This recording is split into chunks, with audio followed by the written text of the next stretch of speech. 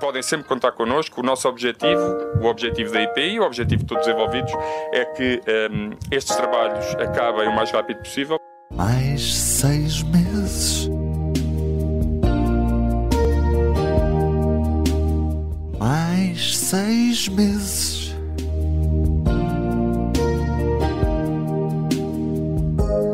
Eu pensei que era agora, mas não foi. Tinha sido uma promessa. No dia 12 de novembro é o prazo que está contratualizado. Foi a Ucrânia, foram os roubos, foi falta de pessoal. Agora só posso pedir. Dá-me mais seis meses, só mais seis meses. Mais seis meses é que levaram-me o cobre todo. Por favor, mais seis meses. Só mais seis meses. Mais seis meses e reabro a beira alta. Temos obras pelo país, promessas do governo. É agora tu vais ver. E neste momento não temos informações de que esse prazo seja violado.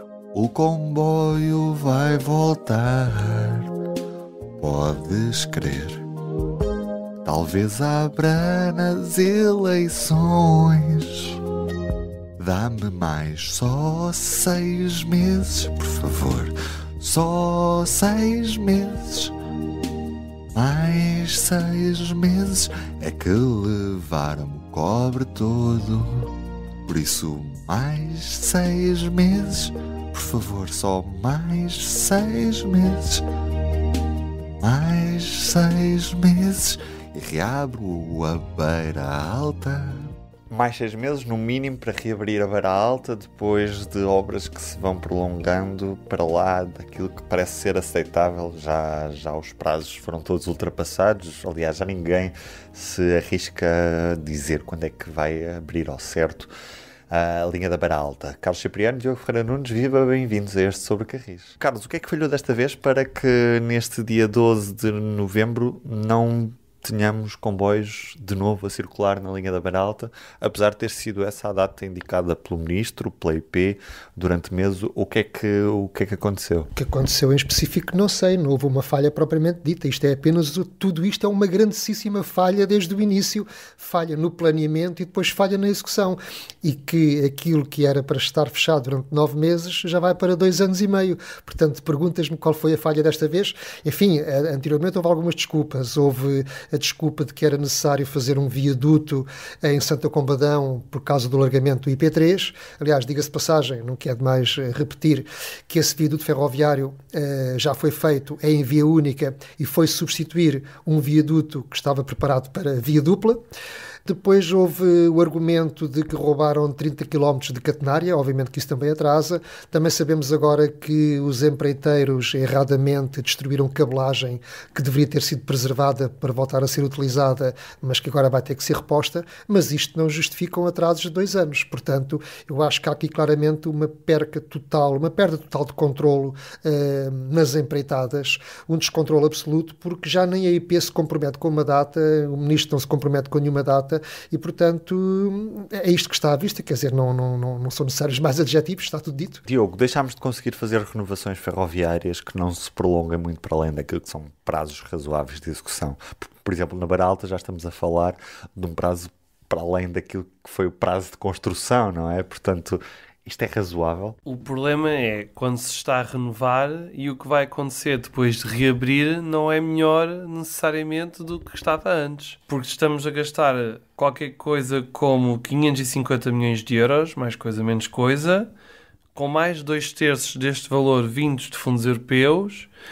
e uh, o comboio que vai conseguir fazer melhor é recuperar os 25 minutos de atraso que vinha a acumular nos últimos anos devido à degradação da via.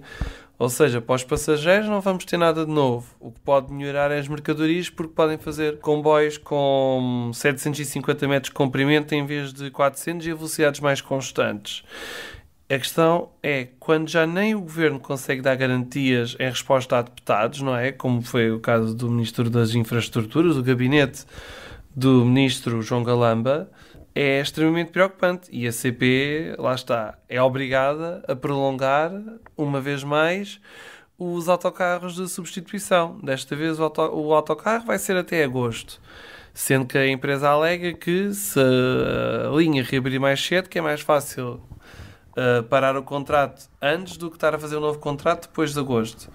O problema é que quanto mais tempo demorar a reabrir a beira alta, maior vai ser o esforço da CP para os passageiros voltarem à linha e também das empresas de mercadorias para recuperar clientes que precisem transportar as cargas de uma ponta para a outra do país. Isto é, do interior ou até mesmo de Espanha para depois para o litoral para servir eventualmente leixões ou para servir Aveiro, fala em leixões, porque quando a linha da Beira Alta reabrir, haverá concordância da Mialhada e que permitirá que um comboio siga diretamente da linha da Beira Alta para a linha do Norte. É, é precisamente por isso. Agora, garantias ninguém dá e quem perde somos todos. Galamba sobre isto já não fala, foi vista sul, na linha do Algarve, fez uma viagem de comboio de 10 minutos. Mais se calhar hum, era muito, mas para já foram 10 minutos entre Faro e Olhão, numa automotora de serviço regional que ainda continua a fazer esta viagem entre... Vinha limpa nesse dia. Vinha limpa, sem grafites, coisa, coisa que parece que está a ficar rara por aí. Mas é engraçado que o que nós vimos nesse dia, para além da viagem, foi autarcas muito preocupados com o que se estava a passar na rodovia, porque ainda não havia variante A125 na zona de Olhão, havia uma série de carências rodoviárias, mas parece que os autarcas já estão mais a olhar para o Metrobus e uh, descrentes naquilo que é a execução das obras na linha do Algarve, já pouco querem saber de, de, ferrovia. Isto é, é sintoma de alguma coisa grave, não é, Carlos Cipriano? Eu penso que sim, é aquilo que eu já tenho dito, de facto, eh, e não é só no Algarve, é um pouco por todo o país, sobretudo em algumas linhas eh, que não seja a linha do Norte. Os autarcas e grande parte da população descrê na ferrovia, porque linhas como a do Oeste e como a do Algarve, por exemplo, as pessoas estão a ver a passar lá uns automotoras velhas, já estão fartas de promessas, não, já não têm sequer as pessoas mais novas memória de quando o caminho caminho de ferro funcionava como deve ser e de quando, de facto, a ferrovia era o modo de transporte por excelência, era o modo de transporte estrutural. E, portanto, vêm arrastar-se ali umas automotoras velhas, vêm obras que tardam em concretizar-se e, portanto, aderem muito facilmente às tais modernices que nós já temos falado, que são os metrobuses, porque ainda por cima, para os autarcas, são alguma coisa que se consegue fazer num mandato ou no máximo no mandato seguinte. Ao passo que a ferrovia, primeiro, são obras que não controlam, não dependem deles e tem de facto todo o histórico de que se atrasa enormemente e não tem de facto, excepto aqueles que viajam ao estrangeiro, não tem de facto a ideia do potencial que uma linha verdadeiramente bem modernizada pode trazer para uma região. Eu, no caso do Algarve, não tenho nada que o Sr. Ministro, nada contra que o Sr. Ministro faça uma visita aos trabalhos na, na linha do Algarve. Mas, de facto, estes show-offs custam-me um pouco porque estamos a falar de obras que estão atrasadíssimas, em que o próprio Ministro depois também não se consegue comprometer com uma data. Quer dizer, quando a empresa que ele tutela, que é a IP, tem eh, o país com obras de ponta a ponta do âmbito da Ferrovia 2020, que, como diz o próprio nome, são obras que deveriam ter acabado em 2020, que já vão passar 2023, e ninguém se compromete com nenhuma data, alguma coisa está errada. Logo, estes show-offs, estas visitas com as televisões atrás, quer dizer, parecem mal. No caso concreto da linha do Algarve, repare-se, era a obra mais fácil de todas as empreitadas do Ferrovia 2020. E já no cronograma do Ferrovia 2020 era a última linha a ser intervencionada. Eu pergunto porquê. Porque ela deveria ter sido a primeira e neste momento já estaria concluída, já estaria eletrificada e teria resolvido um grande problema ACP que era praticamente acabava com o diesel a sul do Tejo. Ficava apenas ali o troço Casa Branca uh, Beja. E portanto já teria lá embaixo só material elétrico, tudo uniformizado a sul do Tejo.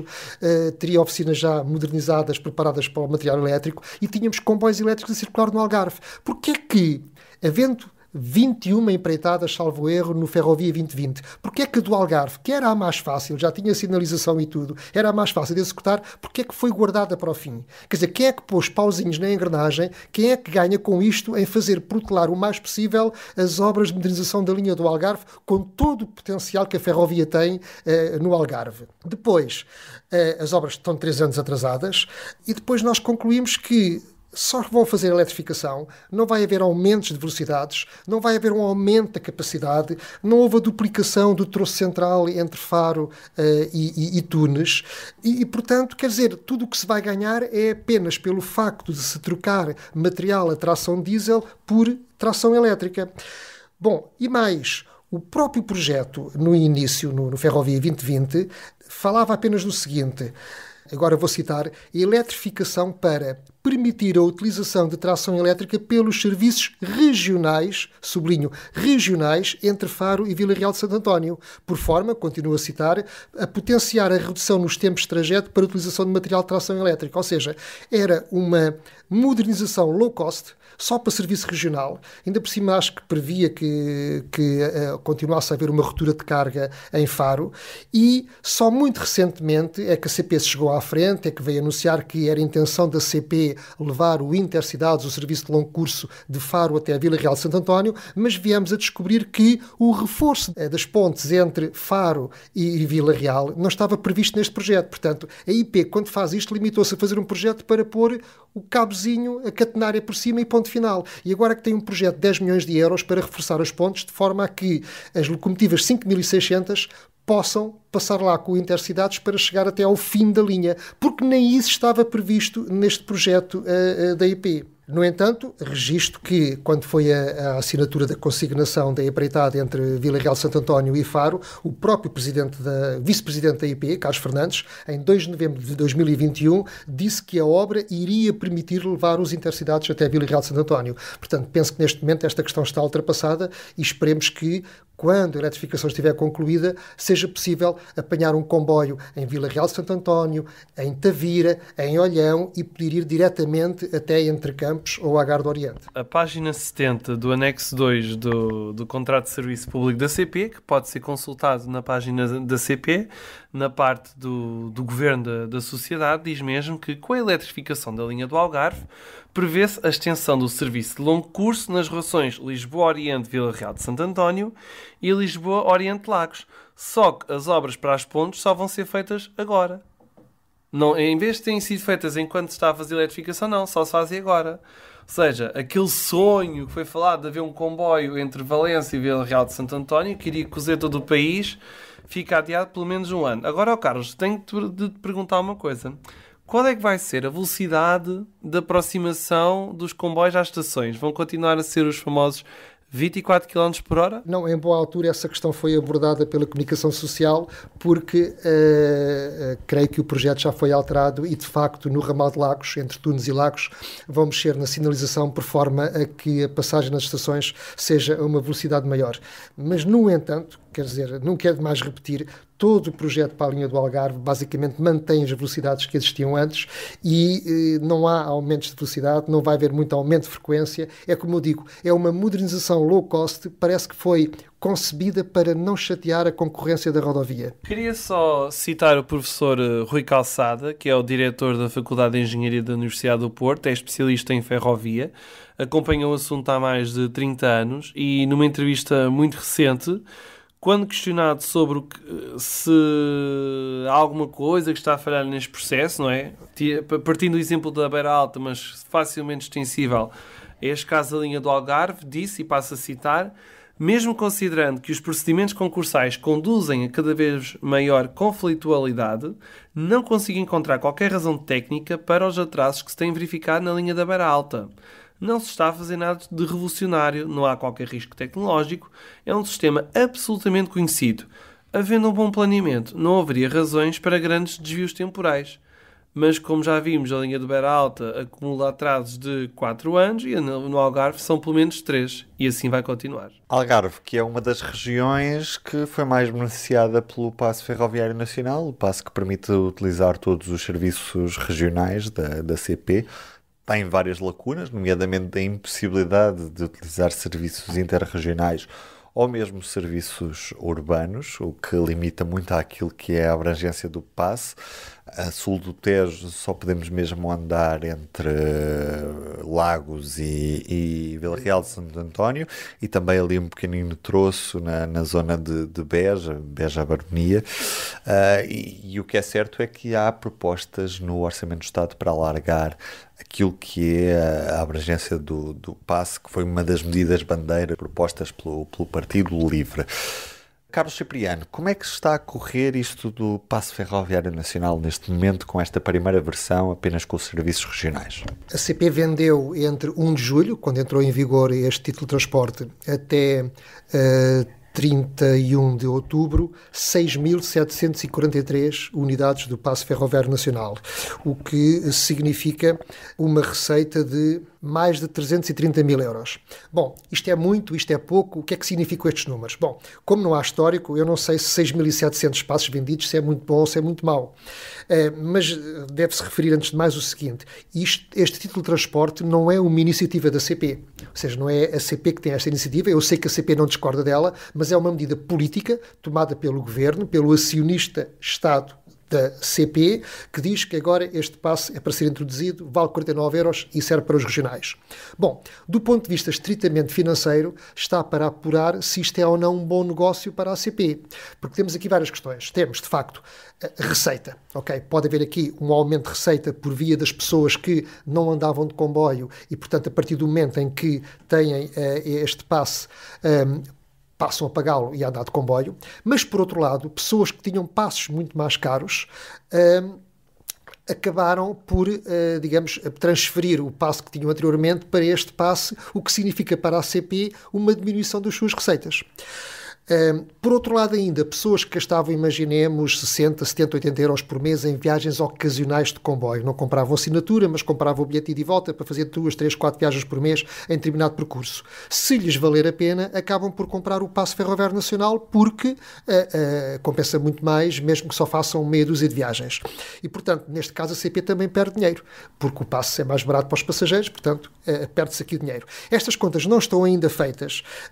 sabemos apenas que cerca de de metade dos passos ferroviários vendidos um, correspondem a novos uh, títulos de transporte, outra metade corresponde a passos que existiam antes, que eram mais caros, mas que uh, agora passaram para o, para o passe ferroviário nacional. Portanto, só quando estas contas estiverem feitas é que podemos saber uh, qual é o impacto que isto tem nas contas da empresa. Agora, para as pessoas, não há dúvida nenhuma que isto é muito bom. reparem numa coisa, por exemplo, só no caso de, de, de, de tomar Lisboa, não é? Uma pessoa pessoa que abdique de apanhar os interregionais e ande só mesmo nos regionais, poupa 168 euros por mês. Eh, entre Vila Real, Santo António e Faro, a poupança é de 78 euros. Eh, de Valença, Viana, a poupança é de 63 euros. Quer dizer, fazem-se greves para ter aumentos bastante menos inferiores. Portanto, eh, pessoas que, que de repente poupam 78 euros ou 100 euros ou 60 euros, isto equivale a um aumento do rendimento disponível, é quase um aumento salarial e, portanto, esta medida é de facto muito boa para muitas pessoas, se bem que o objetivo não era criar um passo para fazer viagens casa-trabalho, viagens pendulares. Era mais para as pessoas poderem viajar pelo território com o passo regional. Mas, de facto, tem este impacto muito benéfico uh, no rendimento disponível de, de muitas famílias que, ao comprarem este passe, passam a viajar muito mais barato e poupam bastante dinheiro. Agora, Tu também já referiste as fragilidades e os anacronismos uh, da, da, oferta regional da CP. Quer dizer, olhamos para o mapa da CP onde se diz onde se pode utilizar este passe e nós olhamos que a sul do Tejo é um deserto, com exceção do Algarve, praticamente o Alentejo, as pessoas do Alentejo não têm direito a comprar este passe e usá-lo porque não lhes serve para nada. Não há comboios regionais. E, portanto, no caso, por exemplo, da linha do Douro, permite fazer uma viagem de ida, não permite fazer uma viagem de volta entre a Régua e o Pocinho. Na linha do Oeste, entre Leiria e Figueira da Foz, só há um comboio regional em cada sentido. E, portanto, é mais Guimarães, Braga, Évora, cidades uh, grandes, em que, não tendo serviço regional, as pessoas destas cidades não compensa comprar o passe. Portanto, há aqui alguma injustiça em termos de coesão territorial e alguma injustiça uh, em quem tem acesso ao benefício deste passe. Portanto, isto demonstra, como eu dizia, a forma pouco bem organizada como está o Serviço Regional da CP, alguma confusão interregional e regional, por vezes não se percebe muito bem o que é que diferencia um, um serviço do outro e, sobretudo, mostra à sociedade o que é que se passa uh, a sul do Tejo. Ou seja, é necessário que haja comboios regionais, a atravessar o Alentejo como havia antes entre Lisboa e o Algarve, porque aquelas populações que veem diariamente o comboio passar e não parar, ou pior ainda, que veem muitas vezes o comboio parar para cruzar com outro em estações que estão construídas com abrigos bem preservadas e as populações daquelas aldeias não podem apanhar o comboio, apesar dos comboios pararem nas suas terras e têm que apanhar táxis ou autocarros até ao centro da vila para depois apanhar um autocarro para Lisboa. E portanto, é urgente que a CP volte a pôr o serviço regional no Alentejo, de onde foi retirado já há mais de 10 anos. Este passo tem também alguns anacronismos complicados, nomeadamente a questão, por exemplo, de quem, vamos imaginar, apanha um comboio regional em Santarém e se quiser ir, por exemplo, trabalhar para Entre Campos, tem de comprar um novo passe porque o, o eixo regional vai até o Oriente, aliás, vai até Santa Apolónia e teria de mudar de passe. Depois tem também o problema do próprio título de transporte, que é um cartão CP que exige um requerimento feito numa bilheteira, por exemplo, nem todas as bilheteiras aceitam este tipo de, de preenchimento de papeladas, tem de se esperar que o passe depois seja feito, não é feito na hora, demora tempo. Tudo isso são uh, complicações para o passageiro que devia simplesmente poder tirar o título, às vezes até no telemóvel. Podia muito bem tirar o título através do telemóvel, descarregá-lo, mostrar um revisor e funcionaria muito melhor. Aliás, a questão da, da, da bilhética na CP de facto tem estes, estes anacronismos. Há coisas que não se compreendem, que são claramente do século passado. Por exemplo, comprar um bilhete de grupo, que deveria ser uma coisa fácil e que se deveria poder comprar imediatamente em qualquer bilheteira da CP, não é possível. Ou seja, um professor que quer organizar uma visita de estudo com os seus alunos, uma empresa que queira uh, fazer uma visita de grupo com os seus quadros, uh, um autarca que queira fazer um, uma viagem com, com os seus fregueses, numa junta de freguesia, por exemplo, e queira comprar um bilhete de grupo, uh, tem que ir à bilheteira da CP, vai perguntar se pode comprar. Dizem que não, vai ter que mandar um mail vai ter que mandar um mail a pedir o bilhete. Depois vem uma resposta por mail, com a obrigação de ter que ser cinco dias antes. E depois vem um mail de resposta a dizer que, sim senhora, pode levantar o bilhete de grupo na bilheteira da CP em tal sítio. Ora, isto já não são formas de funcionar no século XXI. Quer dizer, não, as pessoas não têm que ir duas e três vezes a uma bilheteira para poder comprar um bilhete de grupo, quando ainda por cima sabemos que qualquer funcionário da CP que está numa bilheteira sabe, tem o conhecimento e tem ainda por cima os recursos técnicos para poder emitir ali, logo no momento, um bilhete de grupo. Para quê? estar a mandar mails a pedir orçamentos ou a pedir o bilhete de grupo para depois vir a resposta e levantá-lo mais tarde numa bilheteira. Portanto, tudo isto deveria ser uh, rapidamente repensado para facilitar a vida às pessoas, porque de facto esses recursos uh, já existem. Quanto ao Passo Ferroviário Nacional, bom, sabemos que há propostas em, em sede de Orçamento de Estado que estão a ser feitas por parte, pelo menos, do PS do PSD, do LIVRE e do PCP, eh, que vão no sentido de alargar o passo ferroviário eh, nacional também aos comboios interregionais e, no limite, a todos os comboios que não tenham reserva de lugar, ou seja, também aos suburbanos. Eh, não sei qual vai ser a resposta do governo, não sei como é que isso vai ficar, sei que há a preocupação de saber qual é o impacto que isso tem na CP em termos das suas contas. Isso não vai provocar também a redução tarifária, não é? Porque é uma boa medida para as pessoas, mas depois a empresa pode vir a perder muito dinheiro com isso. E tem que haver aqui um equilíbrio que tem que ser alvo de uma decisão política. Inclusive, há propostas para alargar também a serviços com reserva de lugar, como o Intercidades, que pode ser importante, especialmente nas regiões a sul do Tejo, para Évora ou, por exemplo, para o Algarve.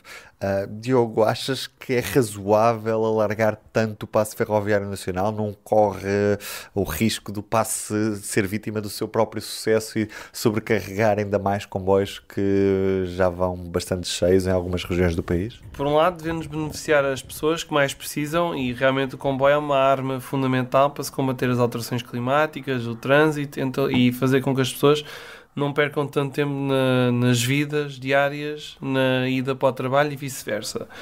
Agora, não gostava muito de assistir em Portugal àquilo que se assistiu na Alemanha, que é comboios completamente a transbordar, com os passos 49 euros e depois uh, cria-se uma autêntica desilusão que faz com que as pessoas depois não apanhem o comboio. Ou seja, o feitiço vira-se contra o feiticeiro.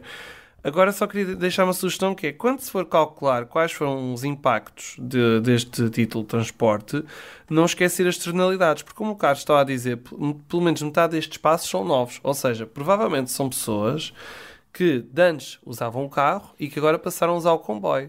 Ora, se temos pelo menos 3 mil pessoas que deixaram de usar o carro, no limite são menos 3 mil carros que estão a fazer trânsito, estão a poluir, e que no limite são menos 3 mil carros potencialmente a terem algum acidente de viação. E nós sabemos que o acidente de viação pode causar feridos ou até mortos, no limite, e que isso tudo tem de custos para a sociedade. Portanto, quando se fizerem essas contas, não se pode esquecer desses números, às vezes são difíceis de estimar, mas de certeza que se forem bem estimados, é uma análise custo-benefício bastante satisfatória a favor, a favor, do comboio. Entretanto, outra efeméride que assinalamos neste sobre Carris é o facto de passarem 20 anos sobre a, a Cimeira Ibérica da, da Figueira da Foz, de 2003, que uh, marcou aquilo que foi um, um, grande arranque do projeto de alta velocidade Falso. em termos. Uhum. Um dos falsos arranques, já que já se falava de alta velocidade em termos ibéricos desde os anos 90, mas uh, do início dos anos 90 mesmo. Mas na realidade, em 2013, houve um mapa que foi acordado entre Portugal e Espanha, e curiosamente, do que foi acordado há 20 anos, hoje, Diogo, nada se fez. Nada mesmo. E eu sou do tempo em que um certo ministro das infraestruturas dizia para, para a Espanha dar a corda aos sapatos, não é? Em termos de alta velocidade, mas Espanha realmente deu a corda aos sapatos e Portugal fez 0 km de alta velocidade. Basta pensar que quando foi a Cimeira Ibérica de 2003, 7 e 8 de novembro, na Figueira da Foz, um, Espanha tinha 471 km da linha de Madrid-Sevilha poucos dias depois desta Cimeira Ibérica, inaugurou a primeira parte da ligação entre Madrid e Barcelona. Não esquecer isto, na altura inaugurou a ligação entre Madrid e Saragossa e depois mais tarde foi até Barcelona, se não estou em erro, em 2008. Portugal não fez um quilómetro, nada, zero. Em 2003 acordaram-se cinco linhas, vamos recordar. Em 2009 ficava pronto o Porto Vigo, com uma estação intermédia. Depois era Lisboa-Madrid, com paragens em Évora e no, na fronteira Elvas-Badajoz. Em 2015, era esta a previsão, seria possível apanhar o comboio entre Aveiro e Salamanca com uma estação intermédia em Viseu. Em 2018 ficaria pronta a linha Lisboa-Faro-Elva, com paragem em Évora e em Beja. E dentro de Portugal, a linha Lisboa-Porto ficaria pronta a partir de 2013, parando em Leiria, Coimbra e Aveiro. Ou seja, seis, só seis anos depois da ligação Porto-Vigo é que ficava pronto Lisboa-Porto. As prioridades eram completamente ao contrário. Hoje em dia já está na fase final de, da avaliação de impacto ambiental Lisboa-Porto e também estão a tentar ser dados passos no Porto Vigo. Só que do resto, o Aveiro-Salamanca já foi chumbado duas vezes pela Comissão Europeia e, entretanto, há a proposta da linha Trás-os-Montes para a viagem Porto-Madrid em menos de 3 horas. O Lisboa-Faro-Elva, bem, o Beja-Funcheira fechou em final de 2011. A reabertura custa mais de 200 milhões de euros. Nem sequer isso está feito. O Lisboa-Madrid, faltava o mais importante. Estão a acabar-se construir 80 km nova linha entre Évora e Elvas, só que a velocidade máxima será de 250 km por hora, enquanto do outro lado, em Espanha, até Badajoz, quando tudo estiver pronto, a linha poderá, o comboio poderá andar à vontade a 300 km por hora. Lembrar apenas, e vou citar aqui um estudo da Comissão Europeia que está no artigo, queria só acrescentar que um passageiro num comboio de alta velocidade custa 1,3 cêntimos por quilómetro ao sistema de transportes. Se este passageiro for de carro, custa por quilómetro entre 7,8 e 12 cêntimos. 12 cêntimos se apanhar trânsito.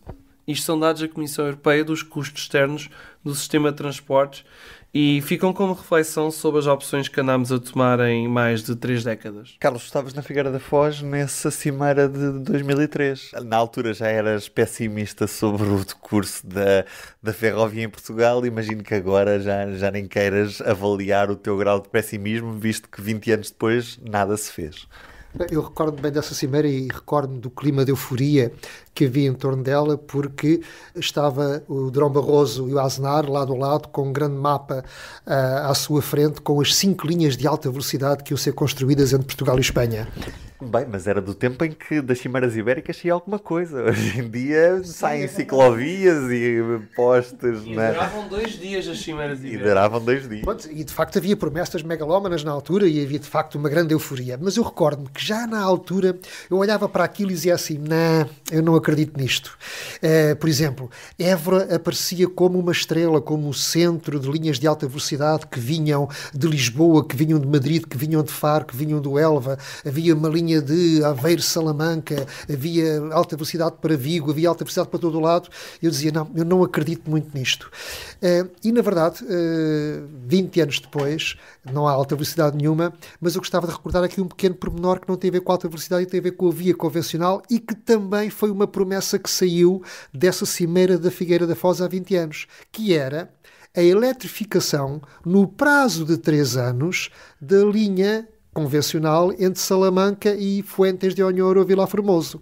E isso era para ser feito nos próximos três anos, em 2003. Ora, 20 anos depois, essa obra não está concluída. Portanto, provavelmente será agora em 2024 que haverá uh, catenária entre Vila Formoso e Salamanca. Bom, uh, isto de facto prova a pouca importância que Espanha dá às ligações ferroviárias com Portugal, porque estamos a falar de uma obra muito fácil de fazer, quer dizer, era eletrificar uh, cerca de 100 km uh, em linha reta, numa zona com uma orografia muito fácil, nada complicada, e uma promessa destas que sai de uma cimeira ibérica com representação política ao mais alto nível, uh, um investimentozinho comparado com todos os outros, e mesmo esse demoraram 20 anos a concluí-lo.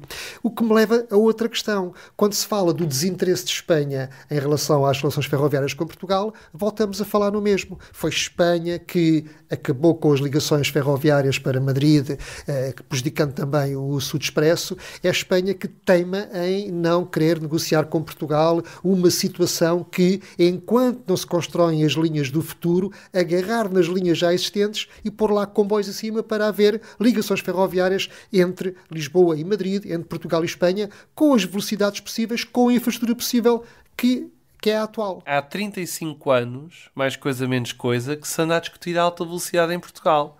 Mas ainda não se fez um quilómetro. Qualquer dia estamos há mais tempo a discutir a alta velocidade do que o novo aeroporto de Lisboa. A competição está em 15 anos de diferença, mas para este andar não sei não a competição entre o aeroporto e a alta velocidade é bastante feroz nesse aspecto, pelo menos na indecisão nacional, vão os dois continuar a, a durar por mais um, um, tempo. Bem, há promessas para que no próximo ano já se saiba onde é que se vai fazer o aeroporto. Vamos ver. O que é certo é que está por dias a eletrificação da linha de alta velocidade entre Madrid e Lisboa, na realidade só a zona da Extremadura espanhola, será inaugurada neste, neste mês de novembro a eletrificação até à fronteira portuguesa do, do troço entre Placência e Badajoz. Do lado português ficamos a aguardar pela nova linha de Évora, sendo que, eh, apesar de, quando acabou Lusitânia, havia a proposta da Renfe de colaborar com a CP num comboio que, que sairia de, de Madrid para, para Lisboa pela via que existia, neste caso pela linha do leste. O que acontece é que, entretanto, a Renfe já se, já se veio adiantando a dizer que assim que houver a linha nova de Évora, pelo menos os comboios de Badajoz vão chegar até até Évora, a CP corre o risco de ficar para trás neste campeonato. Sim, sobretudo porque não tem material circulante para poder fazer eh, viagens de longo curso uh, que façam, que, que, para se defender da concorrência da Renfe, não é? Portanto, basicamente, o expectável é que, assim que essa linha estiver concluída, a CP prolongue o Intercidades de Évora até Elvas e não sei se vai conseguir levá-lo a Badajoz mesmo. Portanto, é muito pouco, realmente. Diogo, o que é que tu defendes para esta nova linha de Évora? O problema é, o material que a CP tem, o, mais, o melhor material vai a 220 km por hora, que é a alfa pendular. Só que a velocidade do Évora Elvas é, 200, é até 250. Temos aqui uma decalagem. É assim, seria incrível, melhorzinho, que o Alfa passasse a fazer, por exemplo, Porto Elvas. Mas parece-me bastante difícil, tendo em conta que só há nove unidades do Alfa Pendular neste momento. Só se tirassem o Alfa Pendular da linha do Sul, sei lá, mas isso ia ser um grande escândalo, naturalmente, porque o Alfa consegue ir até hum, Torrevan a uma boa velocidade. Uh, neste momento. E se fosse o Intercidades não podia fazer essa proeza. Portanto, acho difícil. E não chegando a Badajoz, tira um dos grandes mercados de procura, que seria teoricamente as pessoas que estão a fazer eh, ou Lisboa-Madrid, ou mesmo as pessoas que estão na Extremadura e que vêm apanhar um comboio a Lisboa e que são bastantes, porque o aeroporto internacional mais próximo é Lisboa. De facto é frustrante, porque quer dizer, a linha Évora-Elvas está a ser concluída, não sei quando é que será inaugurada, lá está, a IP também não se compromete, ninguém diz quando é que aquilo acaba, é sempre para o ano.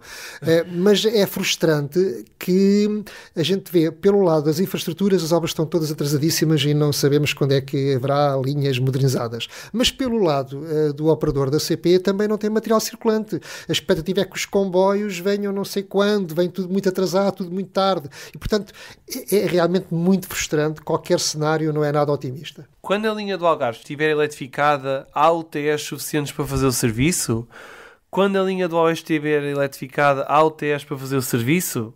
Ou vão simplesmente prolongar-se os suburbanos, em vez de ficarem em Mira Sintra Moessas, vão até às Caldas. É porque isto, elas não se multiplicam assim com um toque de magia. É por isso o cenário perfeito para ouvirmos um poema no encerramento deste Sobre Carris de hoje. O nosso ouvinte João Fernandes uh, mandou-nos um mail muito simpático e o Diogo Ferreira Nunes vai reproduzir um poema então deste nosso ouvinte. Ruben Martins, Carlos Cipriano, Diogo Ferreira Nunes, este é mais um Sobre Carris. Estaremos cá daqui a duas semanas. Até lá. O presidente da Câmara de Coimbra apelou à rebelião, tentando regimentar outros presidentes da região para cortarem a A1 e a linha do Norte.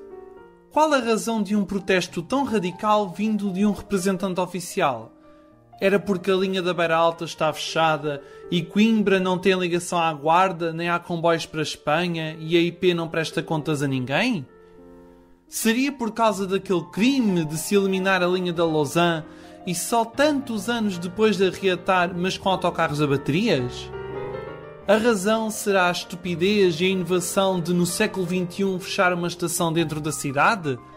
A causa da insurreição será Coimbra não ter ligação ferroviária à cidade vizinha de Viseu? Nada disso. A razão é a mesma de sempre. A motivação dos dinossauros que continuam a dominar a nossa governação. Carros. Ele exige o IP3 como autoestrada. 40 anos de construção de estradas depois ainda não chega?